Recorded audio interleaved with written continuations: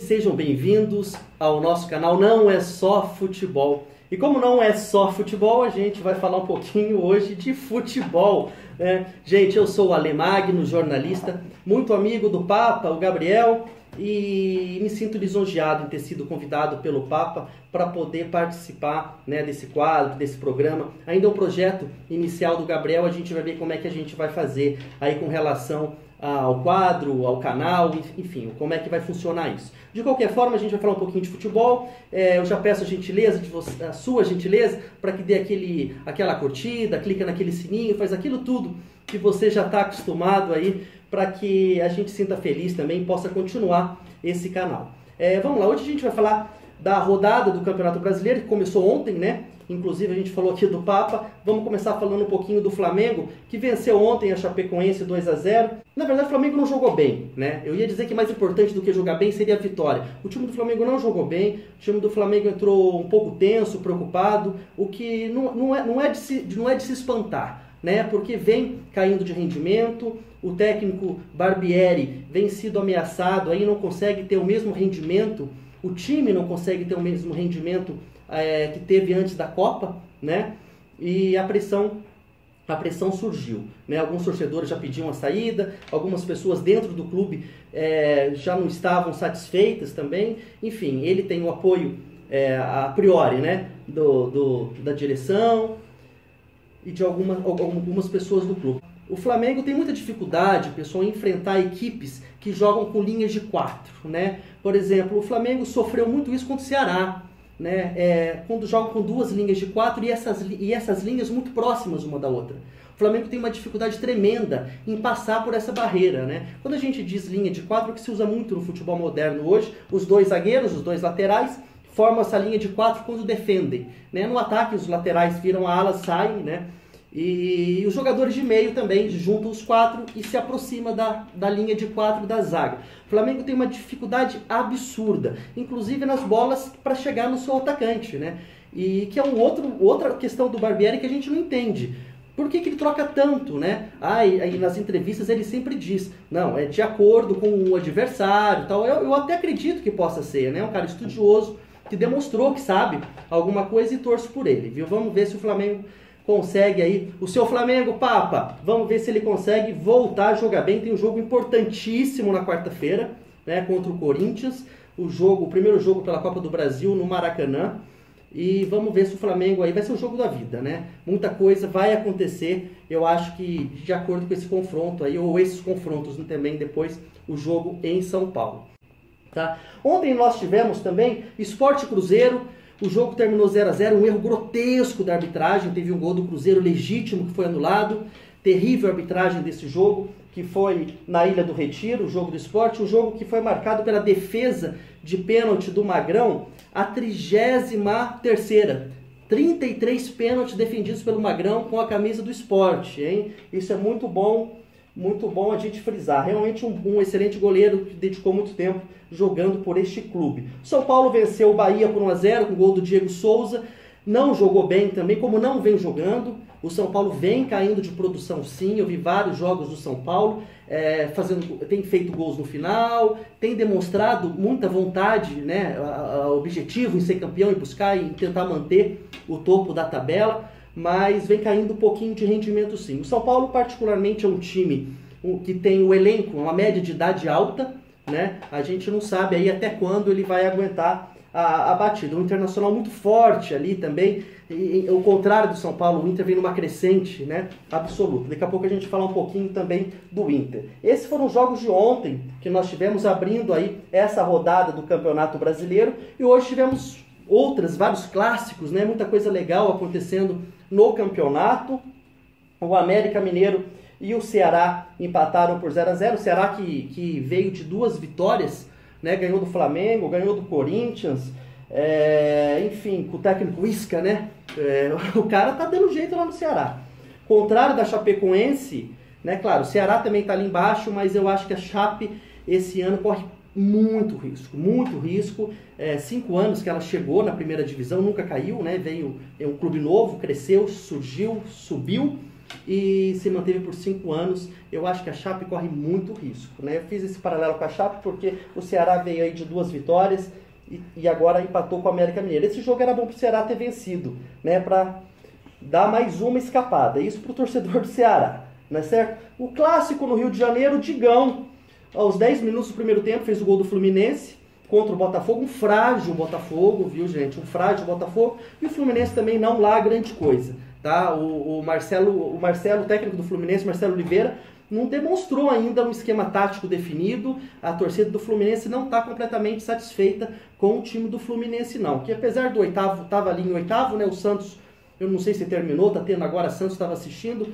O Santos já estava em oitavo, né? O Santos vencendo 2 a 0 já no Paraná. Dois gols do Gabigol, Gabigol Gabriel, né? Então o Santos nesse momento já passa o Fluminense. O Santos que estava lá embaixo né? E o Cuca vem dando jeito. O Santos foi nitidamente prejudicado na Libertadores, né? A Comembol usou dois pesos, duas medidas, um absurdo pelo que aconteceu com o Santos, o que a Comembol fez com o time do Santos, né? Aquela questão toda, o River, eh, quando eu digo dois pesos, duas medidas, porque o River deveria ser punido também, não é? E, enfim. O derby paulistano, gente, eu moro em São Paulo, então a gente sente todo esse clima, tudo aquilo que tem no Rio de Janeiro, que tem em Porto Alegre, que também tivemos clássico, acontece aqui de forma muito, é, muito forte também, né? O Palmeiras venceu o Corinthians, um jogo que eu assisti também, com o gol do Daverson, aos 11 do segundo tempo. Daverson que vem jogando bem, apesar da torcida, a torcida não gostava dele, o Felipão bancou, colocou, assumiu o jogador, o jogador vem fazendo gols, é, tomou o terceiro cartão amarelo, não, o terceiro cartão não joga o próximo jogo do Palmeiras, que é um jogo importante, daqui a pouco a gente vai falar sobre a próxima rodada. Palmeiras e Corinthians, 1 a 0 Palmeiras. O Corinthians não demonstrou força é, na estreia do Jair Ventura, né, que chegou é, dando, claro, não pode ser diferente, declarando que iria à luta, queria vencer, queria conseguir e deu a cara a tapa, realmente poderia esperar, né, esse jogo acontecer, assim como o Felipão fez, como algumas, alguns técnicos chegam quando tem um jogo, aguarda, fica ali, vê de fora, assume depois. Não, Jair Ventura foi, bateu no peito, assumiu. Isso achei legal da postura do técnico do Corinthians, que fez um bom trabalho no Botafogo, não teve a mesma sorte no Santos, mas é um jovem promissor, um técnico estudioso, assim como outros que nós temos também no futebol brasileiro. Né, então o Palmeiras acabou vencendo, o Palmeiras com time misto, viu gente? A dupla de zaga do Palmeiras é, fez um excelente jogo, duplo de zaga reserva, né? O, o Felipão optou por vários, um, fazer um time bem misto, Moisés ficou no banco, né? E foi com o Dudu. Ninguém esperava, não contava com a escalação do Dudu e começou com o Dudu como titular, né? Do Felipe Melo também jogou, começou jogando esse jogo. Aos pouquinhos a gente vai se conhecendo, eu vou falando de mim, vocês vão mandando as mensagens e a gente vai trocando muita bola, falando de futebol, falando de cinema. A gente vai falar sobre tudo. O, o Papa vai começar a pautar, daqui a pouco ele, ele manda aqui a mensagem, Ale, muda aqui, fala aqui, fala aqui, a gente vai falando e a gente vai fazendo. Tá bom, gente? Quando for ao vivo, ele vai participar e eu vou participar do canal lá também e a gente vai fazer uma coisa muito legal. Olha aqui, Vitória faz 1 a 0 no Vasco, gol do Eric aos 27 do segundo tempo. Vasco 0, Vitória 1, gol do Eric, tá? Esse jogo eu não consegui ver porque a gente precisou entrar.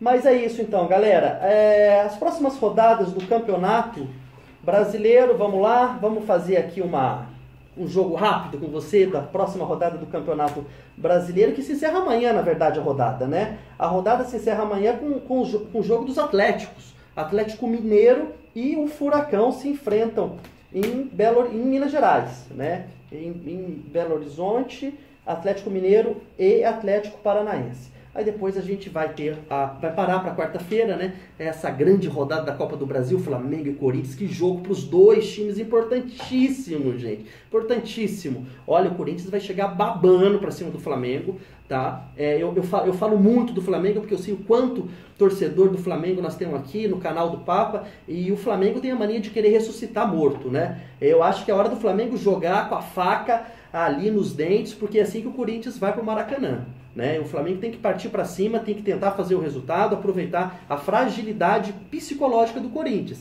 né? Porque não há tanta fragilidade dentro desportiva de não, viu? É um time que está muito abalado psicologicamente, mas dentro de campo são duas camisas gigantescas, né? Na próxima rodada a gente vai ter lá o Ceará e Vitória.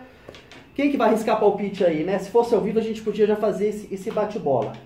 Tem um Grêmio Paraná e temos aí o clássico carioca, que é o que a gente vai falar um pouquinho rapidinho. Um Vasco e Flamengo, um jogo que foi é, vendido pelo Vasco, né? Vamos dizer assim, que foi mandado, que será mandado em Brasília.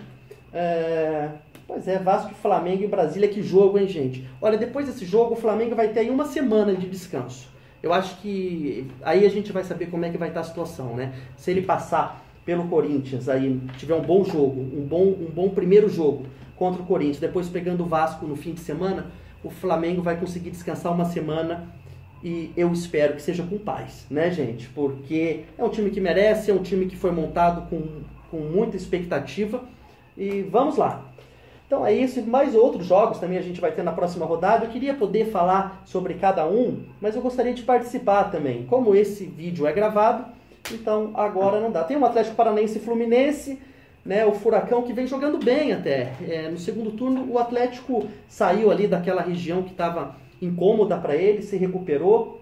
Enfrenta esse Fluminense do Marcelo, que eu disse que ainda não encontrou esquema, um esquema tático ali definido. Muitos torcedores reclamando hoje nas redes sociais. Recebi algumas mensagens também de torcedores.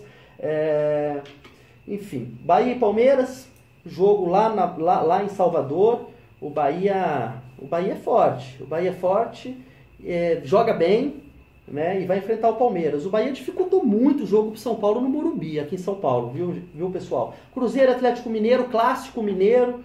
É, bom jogo, excelente jogo. Depende muito como vai estar a rodada seguinte, se vai da Libertadores, né? O Cruzeiro aí focado na Libertadores. E o Atlético Mineiro brigando. O que me surpreende muito também, gente, agora que eu falei de competições, o Palmeiras está disputando as três, né? E hoje foi com o time misto contra o Corinthians, né? Podendo chegar até em segundo lugar, ele poderia, dependendo da combinação de resultado do Inter e Grêmio. É, foi corajoso o Filipão, o Filipão chegou no time do Palmeiras, o Palmeiras tomou um gol só depois disso, no jogo lá contra o Cerro, pela Libertadores. Olha, é uma questão para se observar esse Palmeiras. Vamos ver como é que ele está ganhando fôlego, né? O Inter está numa crescente absurda, mas é bom a gente observar como é que vai estar esse Palmeiras do Filipão disputando as três competições, né? Uma coisa que o Flamengo também tentou. O Flamengo também tentou, não teve sorte contra o Cruzeiro, né? O Cruzeiro teve mais sorte contra o Flamengo. Eu digo de sorte porque foi um jogo, o Flamengo jogou muito bem no segundo jogo, né? E o Cruzeiro teve oportunidade no primeiro, né? E fez os gols. É, Santos e São Paulo, olha o clássico aqui, o clássico Sansão, né? É, aqui está o Santos na frente, possivelmente na Vila, talvez esse jogo vá para Pacaembu. É, Botafogo e América Mineiro. Olha o Botafogo aí contra o América Mineiro que é, às vezes complica, né? O Botafogo pode.